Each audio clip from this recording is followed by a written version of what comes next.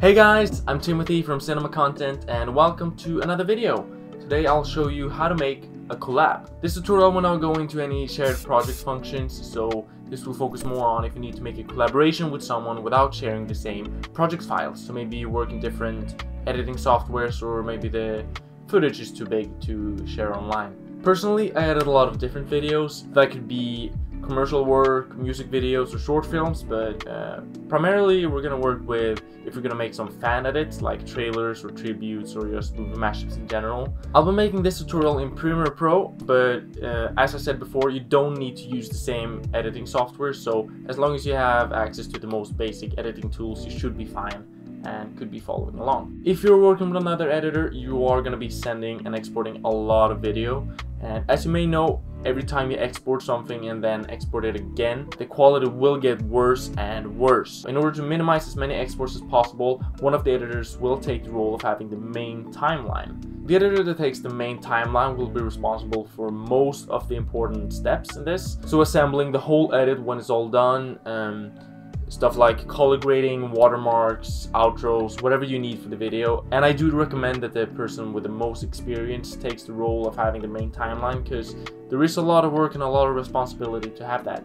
So for this video, we're gonna go through three different options of how you can make a collab. I'm not really a professional, I just make videos, it's fun, people like it. Don't take my words as anything official. This is just my experience, how I feel like stuff is easier when I'm gonna when I'm gonna edit. Just tag along and if you don't like it, it's all up to you. Option 1. The structured parts. This step is the best for organizing, uh, it's usually the fastest way too, and it requires less communication. So it's really a way to make things simple and easy if you're uh, new to this collab thing. So if you're a beginner with collabs, I would recommend starting out with option 1. Option 1, step 1, making the guideline. Let's say I'm editor 1 uh, editor with the main timeline and I need to decide what uh, part of the song that I'm gonna edit and what part of the song that my friend editor 2 will be editing.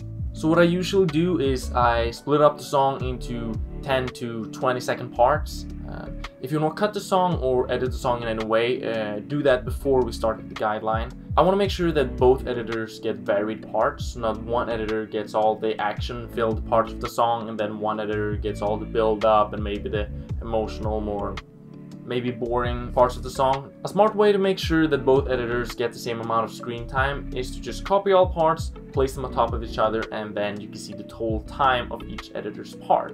And that's just to make things fair. When I'm done with splitting the song into different parts for editor 1 and editor 2, I'll export the song with what I will refer to as the guideline. Step 2, the editing. The fun stuff. So I send the guideline to editor 2, if he likes it, we can start the editing. As editor 2, you bring the guideline into your editing software and you put it together uh, on a layer on top of everything. You can enable or disable the guidelines whenever you just want to check that you're doing the right part, or you could just change the blend mode to something like screen and then only the text will be available and be as an overlay on top of your clips. The good thing about this option is that both editors can now be working without the other editor being present, so they can work separately on uh, their own parts. That's why this option won't require as much uh, communication as the other options. Editor 2 finishes his parts and sends the entire timeline even with the blank parts for um, Editor 1. This is to make it easier for Editor 1 to sync everything. So when you export everything as Editor 2, remember to not use any color grading or watermarks because that's going to be a thing that Editor 1 is going to do later. But if you need any color correction on specific clips just to get um, certain effect on uh, whatever you're doing. Of course, uh, just don't put any color grading on top of everything that you're doing. So as editor 2, you export the whole timeline in two versions. So one regular version with everything enabled and then one version without the music.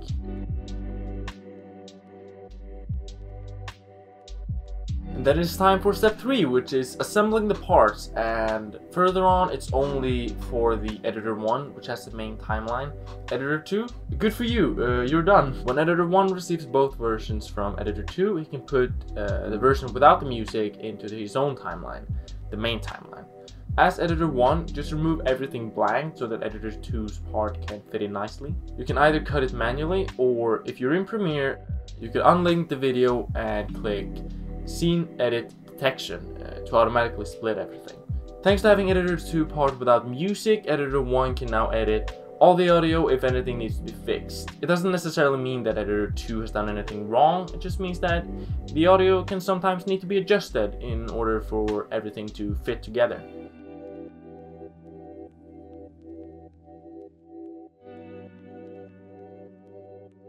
And then on to step 4, which is the final touches. Now it's time to add some color grading and watermarks if that's what both of the editors want to do. If editor 2 has some watermark, you can just send it to editor 1. I recommend using watermarks in your videos because it's easy to tell then uh, what editor has done what part. So this is good if you ever need to show your edit in a portfolio or anything like that and you need to really take credit for what you've done. If everything's added, you're good to go. Editor 1 sends the final export to Editor 2 and they can both upload. The end. Then on to option 2, which is mixed parts. I feel like option 2 gives uh, more personality to what you're doing and it can feel more fun and engaging when uh, working together with the other editor. But it can take more time, so if you have a deadline or something like that, uh, this option is probably not for you. So basically you just work together to fill the entire timeline. So uh, there's no specific parts and you both can just fill in clips wherever you want to fill in clips until the edit is done. So just like option 1, you decide which song you want to edit to and then if you want to make your changes and edit or cut the song, you do that. You'll still need one editor to take the role of having the main timeline and we're going to call that editor 1 just as in option 1. So let's say editor 2 uh, adds a few clips into his timeline and then he wants to send that to uh, editor 1. He would then just need to export those parts, uh, one version with everything enabled and then one version without the music. So just like in option 1, editor 1 can take those clips, put it into his timeline, take it out and do whatever he wants with the audio and everything. And I don't think there's much more to it. You just keep on doing this, that editor 2 sends some clips to editor 1 and then editor 1 fill in clips himself and then just keep on working until the, the video is done. The last steps are the same as well. Uh, editor 1 just adds whatever you want in the edit, so if you want a color grading or a watermark or an outro, just go ahead. But as I said, there are a lot of more problems that you may run into when doing uh, this option. For example, maybe both editors try to put a clip on the same part of the song. Then you have to discuss on what clip to keep and what clip to throw away or, you know, change place and, and that can take some time. It's going to take a lot of communication and it can be really messy if you're bad at communicating. Maybe you both run out of ideas and you put in some clips and then you think yeah after these clips the other editor has to put in somewhere there but he thinks the same way that yeah those clips are there maybe he has some other plan for that. So if you don't communicate enough you could just both be sitting there and expecting the other one to put scenes in that's why I recommend that you're only doing this option if you know the editor personally. Moving on to option 3 which is a combination of option 1 and 2 so we're gonna have some structured parts and some mixed parts. This could be relatively organized uh, it's still a good mix of all options and can still take time but it's what I find to be the best viewing experience of a collab. So you have a lot of structured parts, um, but you will do the beginning and the end as mixed parts. And of course you can do whatever you want to discuss with your partner if you want to have a part in the middle as well that is mixed you.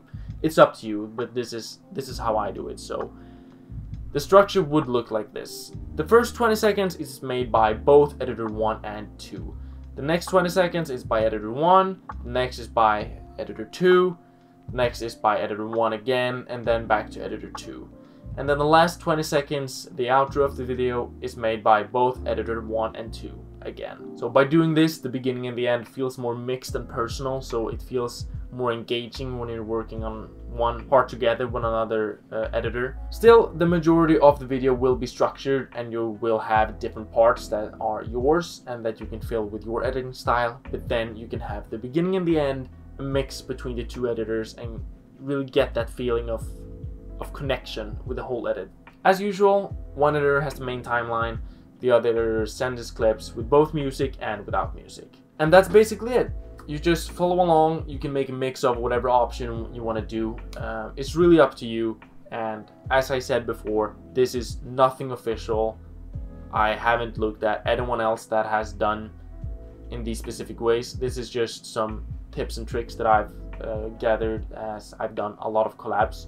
If you're gonna make a collab with someone, feel free to share this video and show whatever option you want to use so both you and your editing partner will know exactly how the structure is to be on your video because that can be a little confusing sometimes. That was basically everything I had to say for today. So thank you everybody so much for watching as usual and I'll see you around.